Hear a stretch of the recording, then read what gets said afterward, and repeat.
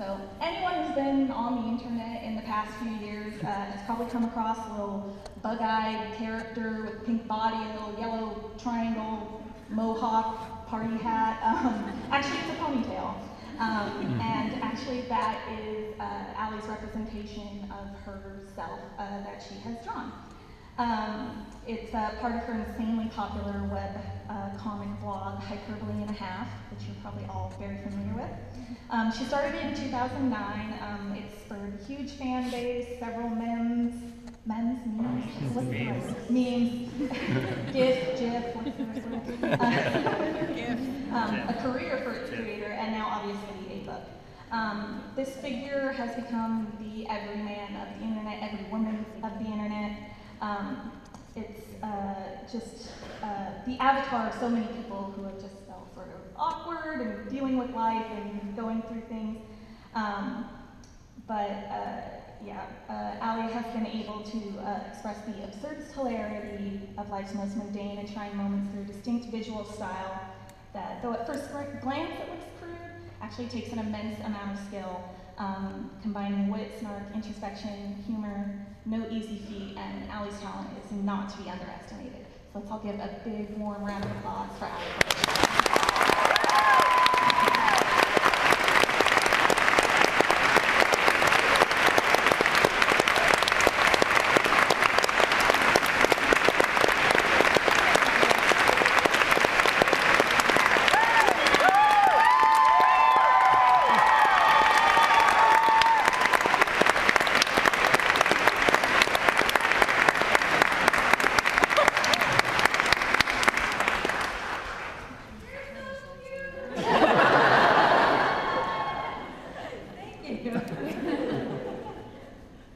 All right, well, I'm gonna, I'm gonna read you guys something. Uh, you guys may be familiar with the story if you know my blog. It's called The God of Cake, and it has uh, new illustrations this time. they, they, look, they look very similar to the old ones, so I didn't want to mess anything up, but uh, they are new. Make sure this is working. Okay. My mom baked the most fantastic cake for my grandfather's 73rd birthday party. The cake was slathered in impossibly thick frosting and topped with an assortment of delightful creatures that my mom had crafted out of mini marshmallows and toothpicks. To a four year old child, it was a thing of wonder half toy, half cake, and all glorious possibility.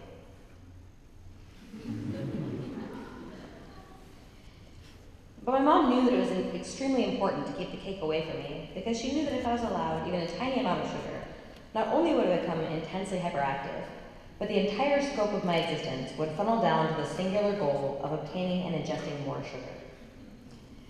My need for sugar would become so massive that it would collapse in upon itself and create a vacuum into which even more sugar would be drawn, until all the world had been stripped of sweetness.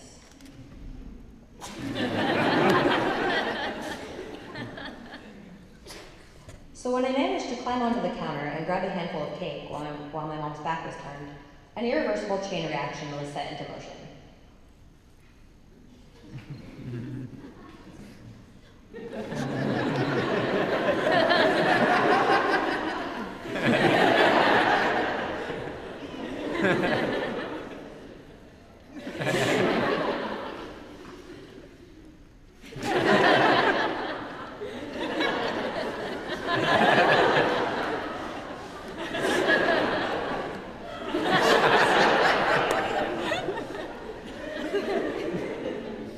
You guys can't see that because it kind of got cut off, but it says cake is the only thing that matters. I had tasted cake and there was no going back. My tiny body had morphed into a writhing mass of pure tenacity, encased in a layer of desperation. I would eat all of the cake, or I would evaporate from the sheer power of my desire to eat it. My mom had prepared the cake early in the day to get the task out of the way. She thought she was being efficient, but really she had only ensured that she would be forced to spend the whole day protecting the cake from my all-encompassing need to eat it. I followed her around doggedly, hoping that she would set the cake down, just for a moment.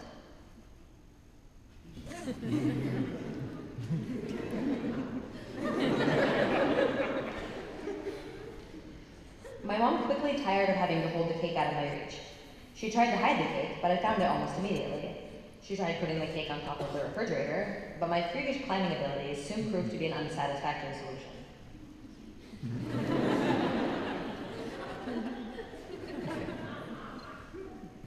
Her next attempt at cake security involved putting the cake in the refrigerator and then placing a very heavy box in front of the refrigerator's door. the box was far too heavy for me to move. When I discovered that I couldn't move the box, I decided that the next best strategy would be to dramatically throw my body against it until my mom was forced to move it or allow me to destroy myself.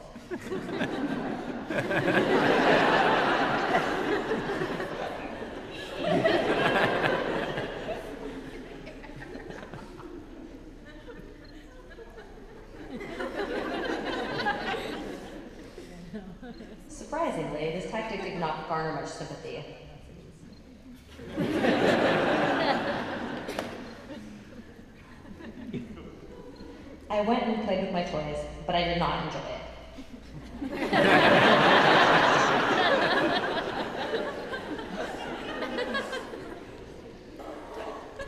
I had to stay focused. I played vengefully for the rest of the afternoon. All of my toys died horrible deaths at least once. But I never lost sight of my goal. My mom finally got my, my mom finally came to get me. She handed me a dress and told me to put it on because we were leaving for the party soon. I put the dress on backwards just to make her life slightly more difficult. I was herded into the car and strapped securely into my car seat. As if to taunt me, my mom placed the cake in the passenger seat just out of my reach.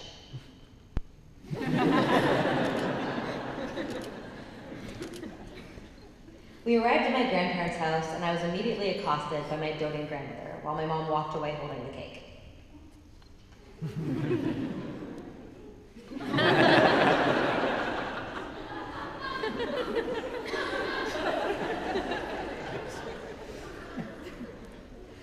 I could see my mom and the cake disappearing into the hallway as I watched helplessly. I struggled against my grandmother's loving embrace, but my efforts were futile. I heard the sound of the, the sound of a door shutting and then a lock sliding into place. My mom had locked the cake in the back bedroom. How was I going to get it now? I hadn't yet learned the lock, learned the art of lockpicking, and I wasn't nearly strong enough to kick the door in. It felt as though all my life's aspirations were slipping away from me in a landslide of tragedy. How could they do this to me? How could they just sit there placidly as my reason for living slowly faded from my grasp? I couldn't take it. My little mind began to crumble. And then, right there in my grandmother's arms, I lapsed into a full-scale psychological meltdown. my collective frustrations burst, burst forth from my body like bees from a nest that had just been pelted with a rock.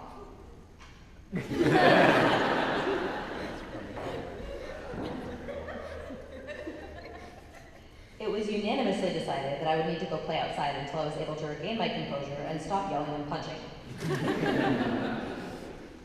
I was banished to the patio where I stood peering dolefully through the sliding glass door, trying to look as pitiful as possible.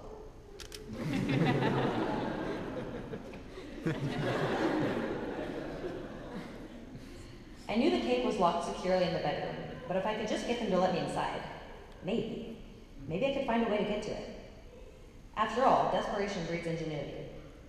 I could potentially build an explosive, explosive device or some sort of pulley system. I had to try. But at that point, my only real option was to manipulate their emotions so they'd pity me and willfully allow me to get closer to the cake. Mm-hmm. When my theatrics failed to produce the desired results, I resorted to crying very loudly right up against the glass.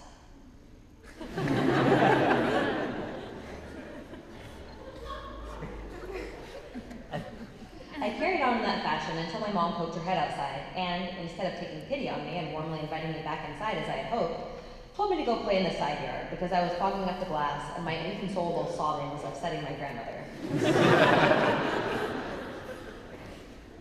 I trudged around to the side of the house, glaring reproachfully over my shoulder and thinking about how sorry my mom would be if I were to die out there. She'd wish she would have listened. She'd wish she had given me a piece of cake, but it would be too late. I'll, also have to read that to you guys.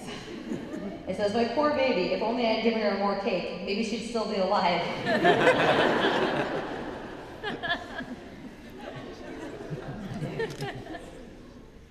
but as I rounded the corner, the personal tragedy I was constructing in my imagination was interrupted by a sliver of hope.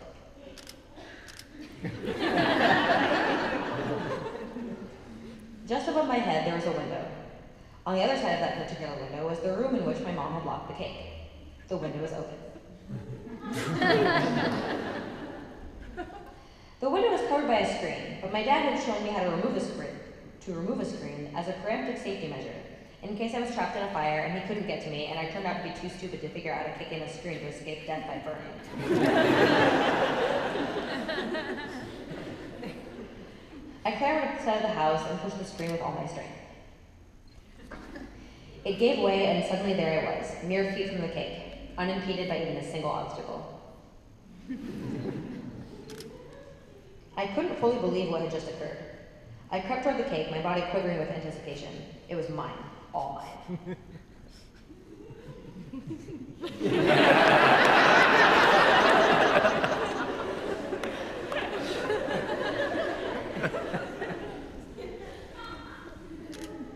I ate the entire cake. At one point, I remember becoming aware of the oppressive fullness building inside of me. but I kept eating out of a combination of spite and stubbornness. No one could tell me not to eat the entire cake. Not my mom, not Santa, not God, no one. It was my cake and everyone else could go fuck themselves.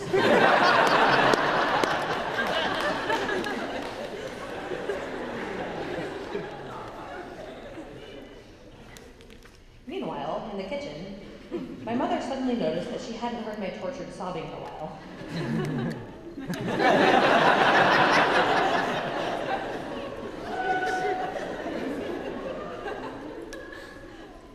she became concerned because it was unusual for my tantrums to stop on their own like that. So she went looking for me. When she couldn't find me anywhere, she finally thought to unlock the bedroom door and peek inside. and there I was.